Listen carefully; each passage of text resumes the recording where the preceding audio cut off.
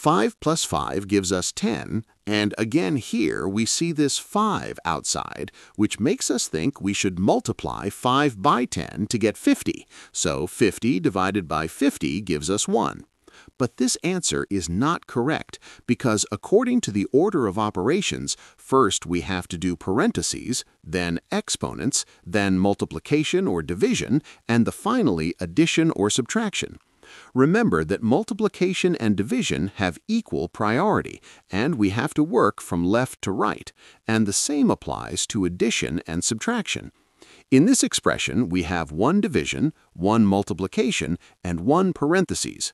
Inside this parentheses, we have one addition.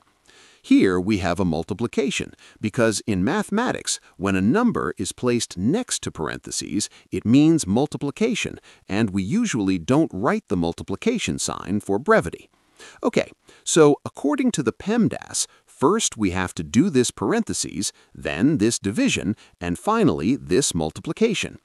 If we do this multiplication before this division or try to simplify the right side first, it is wrong.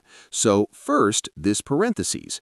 Inside this parentheses, we have 5 plus 5, which gives us 10. So we have 50 divided by 5, then times 10. Now we have one division and one multiplication. According to the PEMDAS, many people believe that multiplication has higher priority than division because the letter M comes before the letter D in the acronym. However, this is a very common trap. Multiplication and division are actually ranked equally, like a tie, so we must solve them in the order they appear from left to right. So here, first we have to do this division because it is on the left side. 50 divided by 5 gives us 10. If we had done the multiplication first, we would have been left with 1, which is incorrect. So we have 10 times 10, and now we are just left with a simple multiplication problem to finish it off. So we have 10 times 10, and this is our and this is equal to 100. So we have 100, and this is our final